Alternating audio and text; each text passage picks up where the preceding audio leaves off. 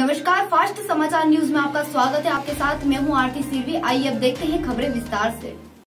Vidisha civil line थाने में अनेक मामले में आरोपी राकेश नाथ को शमशाबाद पुलिस ने धर दबोचा। आरोपी पर तत्काल पुलिस अधीक्षक विनीत कपूर ने 2000 का इनाम घोषित किया है। राकेश पर आरोप है कि ये बच्चों को अगुवा कर भिक्षावृत्ति करवाता है। इसका एक साथी पहले ही गिरफ़्तार हो चुका है। नाथ कई दिनों से पुलिस के साथ आँख मिचोली का खेल खेल रहा था। आखिरकार पुलिस ने उसे गिरफ़्तार कर लिया। मेडिकल कराकर आरोपी को संबंधित थाने में सुपुत्र किया जाएगा। शमशाबाद से दीपक यादव की रिपोर्ट।